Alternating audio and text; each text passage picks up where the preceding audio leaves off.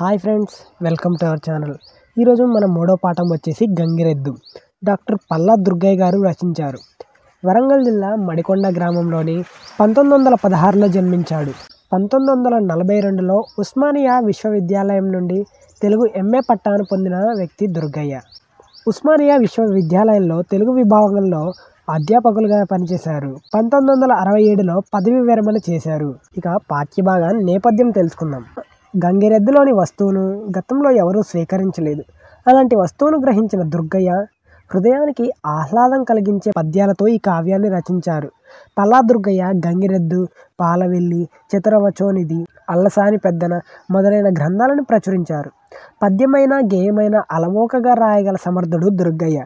ఒక ఆవుకు అవలక్షణాలతో కూడిన కొడదూడ పుడుతుంది. కాలక్రమంలో ఆవు చనిపోతుంది. ఒక గంగిరెద్దుల వాడు కోడెదూడని దగ్గరికి తీసుకొని దానికి రకరకాల విద్యలు నేర్పుతాడు. ఊరూరా తిప్పుతూ దాని మీద సంపాదనతో జీవిస్తుంటాడు. ప్రస్తుత పాఠ్యభాగంలో గంగిరెద్దుల వాడు ఎద్దును అలంకరించిన విధానం దానితో చేయించిన విన్యాసాలు విద్యలను ప్రదర్శించడం అంతరించిపోతున్న అంటే ఇప్పుడు ఈ కాలంలో అసలు కనపడటం కూడా లేదు గంగిరెద్దు. గంగిరెద్దుల వాళ్ళు గంగిరెద్దు అనే వృత్తి కళా వైభవాన్ని సౌందర్యాన్ని ఈ పాఠం ద్వారా గ్రహించవచ్చు. మనుషులు ఇతర జీవులపై ఆధారపడి జీవించడం అనేది ఈ పాఠ్యభాగం యొక్క ఉద్దేశం. మన పాటల్లోకి వెళ్తే గంగిరెద్దుల వాడు గంగిరెద్దు కళ్ళకు గంతలు కట్టేస్తాడు. జనంలో చొరబడి దాగి బసవన్న అని పిలిచాడు.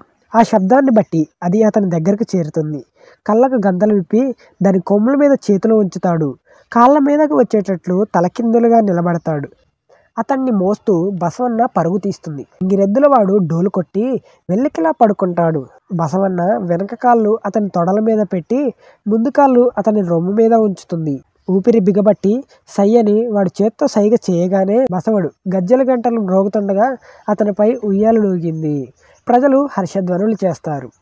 గంగిరెద్దుల వాడు బసవణ్ణి కిందకి దించి బసవణ్ణి మెచ్చుకుంటాడు. ఇలా అంటాడు బసవన్న నీవు చేసిన పనులు చూసి దొరలు దొరసారులు సంతోషించారు. ఈ రోజుకి ఈ పనులు చాలు.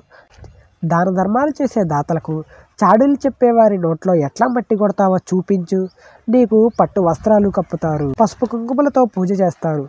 దాతలకు దయ కలిగేటట్టు వారి కడుపులో తలను పెట్టు అన్నాడు. బసవన్నను ప్రజల వద్దకు పంపుతూ తాను డోలు వాయిస్తూ దాని వెంట వెళ్తాడు. అంటే చుట్టూ ఉన్న జనాలను చూస్తూ గంగిరెద్దుల వాడు మీరు కట్టి విడిచిన వస్త్రాల కోసం యాచిస్తున్నారు. ఒక జరి దోపతి ఒక రైక ఒక పంచె ఒక కండువా నాకు ఇచ్చి వెళ్ళండి. అమ్మ చీర మరొక అమ్మ రైక ఒక నిషాని ఇవ్వాలి. అమ్మ పేరు మీద మామయ్య పేరు మీద వాటిని బసవన్న తన శరీరంపై ధరిస్తాడు. పల్లెల్లో పట్టణాల్లో మీ పేర్లు సంతోషంగా చెప్పుకుంటాను. పేదలకు చేసిన దానం ఊరికే పోదు. అది తిరిగి మీకు లాభం కలిగిస్తుంది. ఈ శాలువాను పటేలు ఇది జమీందారు ఇది ఒక దొర ఈ పట్టు వస్త్రం ఒక దేశముఖి కానుకలుగా ఇస్తారు.